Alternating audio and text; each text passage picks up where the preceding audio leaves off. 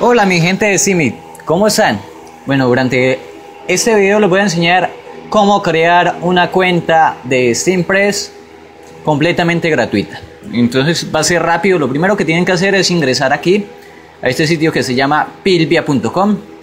Lo hacen en esta opción que dice registrarse y se registran con la cuenta de Gmail. Ponen su cuenta de Gmail y por supuesto les va a pedir su contraseña. Y listo, aquí está. Entonces les va a aparecer un menú así muy similar y pueden crear de hecho varias cuentas. Bueno, acá dice site, vamos a darle crear nuevo site y aquí nos dice cómo va a ser el nombre del sitio. Entonces, por ejemplo, yo tengo y me dice que el sitio ya existe porque yo ya lo he creado. Entonces le voy a decir que de las Poet 2.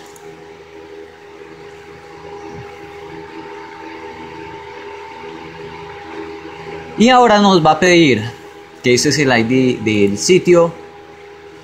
Este es el título que le vamos a colocar. Bueno, eso lo pueden modificar más después. Este es el correo de administración. El nombre de administración yo lo he dejado así, de Last Poet 2. Y contraseña, voy a ponerle una contraseña muy rápida.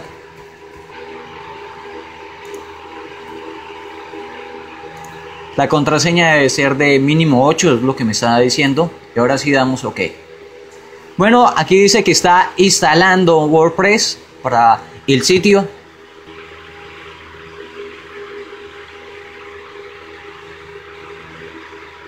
Y me dice que el sitio ya ha sido instalado y aquí aparece. Entonces, para administrarlo vamos a hacer clic aquí. Y luego vamos a ir a esta opción que dice WP Admin o WordPress Admin. Y son las abreviaturas. Y ahora vamos a hacer el paso siguiente. El paso siguiente sería configurar nuestra cuenta de WordPress. Se está tardando un poco. Mi conexión a internet realmente está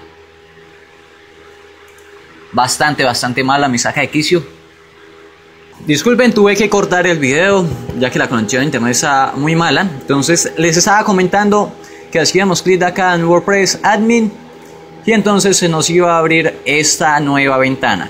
Y en esta nueva ventana nos va a pedir el nombre de usuario que pusimos, que en este caso era de la Spot 2, y la contraseña que pusimos y ya se nos abre el menú de WordPress.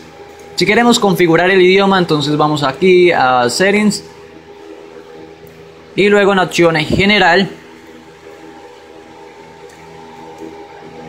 Y acá está toda la configuración. Vamos a buscar el idioma. Aquí está. Para ponerlo en español. Y luego vamos a la parte inferior. En la parte inferior nos dice guardar cambios. Pero eso se trata es de los plugins, ¿verdad? Lo que a ustedes les interesa es instalar el plugin. Entonces vamos a instalar el plugin. Le vamos a decir aquí donde dice adicionar nuevo. Y el plugin se llama Steam ¿verdad?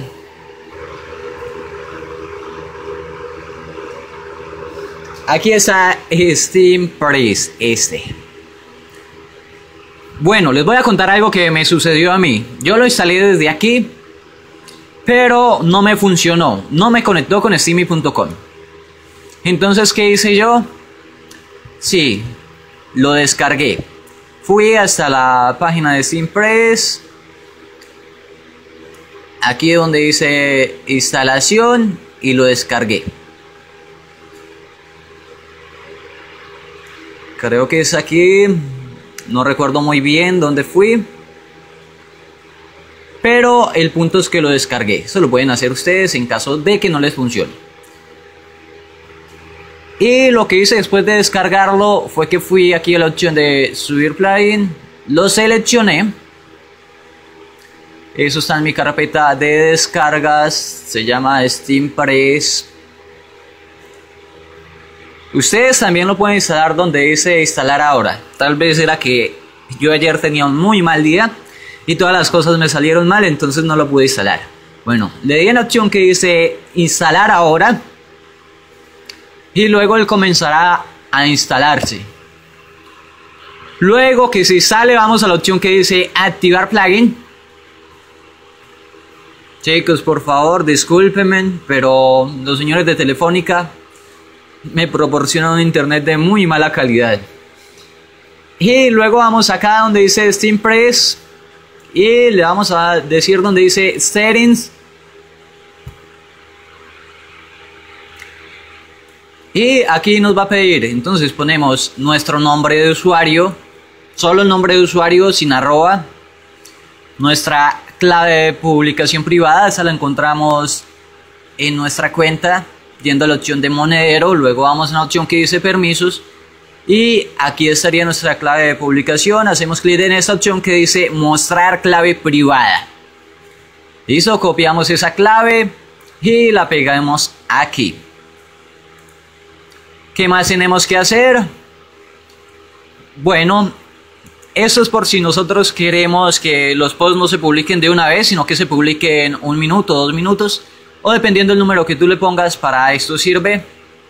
¿Qué más hay por acá? Esta opción es para las etiquetas predeterminadas, tú las puedes cambiar.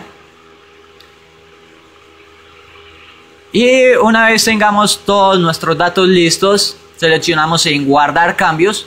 Y después de que se guarden los cambios, donde dice nombre, usuario y conexión con el servidor, estas dos cosas deben estar en OK.